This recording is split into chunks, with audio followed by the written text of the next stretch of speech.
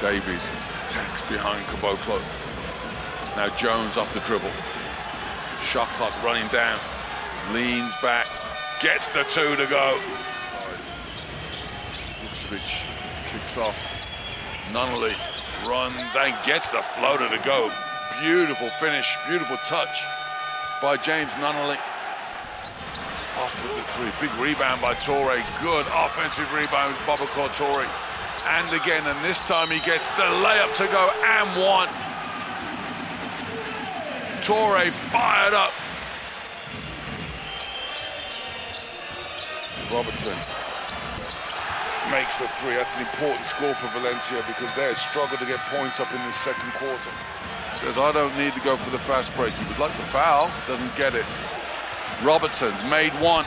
Robertson makes a back-to-back -back pair. And Valencia on the charge. Inglis finds Jones. Jones misses the three-point shot. Big rebound and power slam. Contested by Valencia's defense. Finds Leday. And he gets a tough bucket to go. The giant hands of Zach Leday. Hunter now operating off the dribble. Leday thinks about the three. Nunnally doesn't think about it. He fires it up and drills it. James Nunnally. They're going to rely on their defense, but what they got to do is start making some shots. Beautiful crossover dribble from Chris Jones there as he leaves Punter for dead. Gets inside. Doja finds Leday. Clock running out, and Zach Leday makes amends for the foul at the other end with a shot at the buzzer.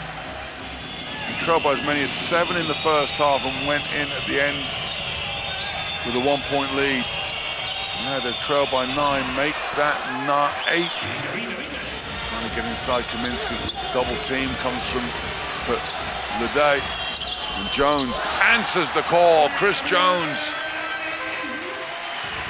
Well, both of these teams are going to know they've been in the game after this one. Oh, the crossover move from Chris Jones and the M1. He wants the pull-up jump shot. He gets the pull-up jump shot. He makes the pull-up jump shot. Jovic taking his time. Inbounds, pass and slam dunk. Panitka gets powered on. And it's stolen away. Nunnally with the breakaway dunk.